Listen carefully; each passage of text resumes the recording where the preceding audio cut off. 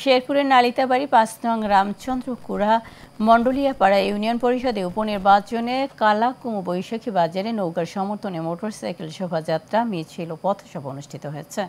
এই সময় নৌকার প্রার্থী হাফিজুল ইসলাম জুয়েল বলেন, বিজয়ী হলে এলাকার রাস্তাঘাট সহ মানুষের সুখে দুঃখে পাশে থাকবেন তিনি। সভায় ইউনিয়ন আওয়ামী লীগের সহ সভাপতি রফিজ উদ্দিনের সভাপতিত্বে উপস্থিত ছিলেন যুবলীগের কেন্দ্রীয় কমিটির সদস্য মফিজ উদ্দিন রানা সহ অন্যান্যরা।